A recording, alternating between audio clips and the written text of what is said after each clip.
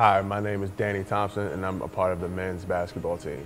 I'm from Springdale, Maryland. Um, what brought me to the Mount was the close-knit community that goes on on campus and the relationship between the players and coaches that I, that I saw on my visit when I first arrived. My dad right now is a retired corrections officer. He served in the Marines for a little bit, graduated from Eleanor Roosevelt. My mom, who played basketball while she attended Coolidge High School in D.C. Um, right now she's a she's working in retail man in a clothing store which for some, which I used to work at when I was in high school for a little bit. I have a younger sibling, I have a younger brother and an older sister. Um, the older sister was a cheerleader in high school. The younger brother played sports for a little bit, but he's not playing sports right now. Some of my hobbies include listening to music, just hanging around with friends and family, goofing around, just having a good time with what I can while I'm still here. I am majoring in information systems and business. Hopefully I can work for some type of IT company or business that, that way that can lend in their, their expertise in information technology field. The one thing most people don't know about me is that even though I may be quiet I'm, and like a shy type of person when I'm around people, I'm actually very outgoing, kind of a goofy person sometimes. A lot of people don't know that. Like they see it when I'm walking about campus, I'm with other people I'm comfortable around, but like for you just now getting to know me, like I may be like quiet for a little bit, but I'm not shy at all. If I could live anywhere in the world, it would probably be Italy. Um, another thing people don't know is I like a lot of the poetry, a lot of the stuff like that. So just being around stuff like that would actually be kind of comfortable. And getting to learn the Italian language wouldn't be bad either. I love the fun about basketball because I get to I get to go places that most people don't really get a chance to go to. Like I've been all around the country. I've been to the southern part. I've been to the northern part. I've been to, to states I've never really got a chance to really get to see, like Oklahoma and and Wisconsin and Illinois and Ohio. Like just outside of the usual, your Carolina, your New York, your Pennsylvania, Georgia, and Florida, like those are some states I never really chance to. Just, just the fun of being able to go different places is something I really like about the sport. It's kind of funny because I didn't start playing basketball first. I started playing football first. Um, I did that for about a year, and then when I stopped playing football, my parents was like, "Hey, why don't you go off a basketball team?" So when I was about eight, going on nine, I went out for one of the local CYO teams where I used to live at. And ever since then, I've played for that CYO team. I played for several AAU teams and even some of the school teams I played for when I was elementary school, middle school, and high school.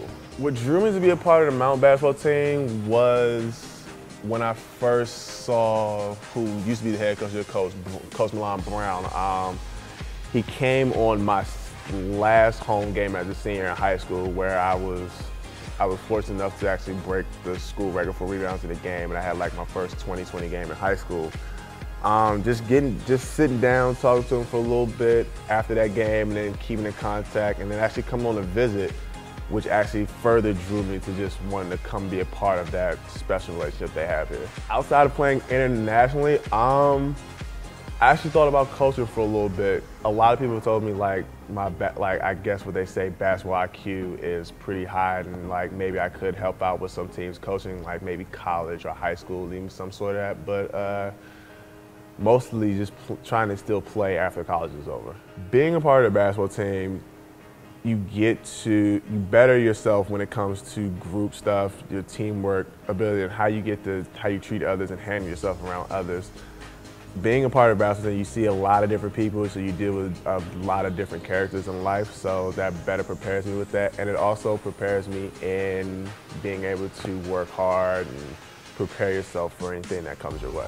Personally, the most influence on my athletic career would be my parents because for a while my dad taught me how to play football when I wanted to go out and play football and then you know, he's been there to help me, groom me, better, become a better basketball player. And then my mom, for a while, was was coaching me for a little bit, for like I think two years. She was coaching me when I was little. So just having them around, just putting more of an aspect on how to make myself a better basketball player, those two have really had a big influence on my athletic career.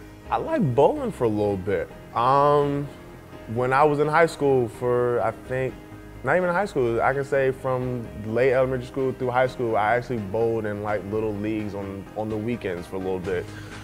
Um, that was actually it was actually fun to do that. If I compete with anybody in basketball, I'm I'm gonna go outside the box because a lot of people are gonna say, "Oh, I like to compete against Kobe or LeBron." I would actually like to play against like some of the older players from like your Magic Johnsons, your Wills, but the person I've liked the most play against would probably be Kareem because he's he's one of the top, I guess to say, post players, one of the top players to play the game, and it'd be kind of interesting to how to defend against him on a low block and that sky hook of his. It'd actually be a pretty good experience. My favorite sports teams would have to be the San Antonio Spurs, the Boston Red Sox, and then the Baltimore Ravens. Some of the achievements I'm most proud of playing basketball, um, one of them would be winning the conference championship here, being a part of that team. Um, getting my first triple double ever in high school. Um, getting a scholarship to play basketball in college. And then one of the other accomplishments that I'm most proud of was playing for one of my first AAU teams. We were, ranked nationally in the country after my during the 11 and under nationals that year. So those are some of the most proud accomplishments I've had. The year we won the conference tournament would have to be some of my would have to be part of my most favorite moment being on the mount, being part of the mount. Um, just around that time, that was crazy to be around. All the excitement, the camaraderie between the team, between what's going on on campus, and then at the same time, we was it was during a tragic moment because we lost, you know, one of a, a, student on campus around that time was a very close friend of mine.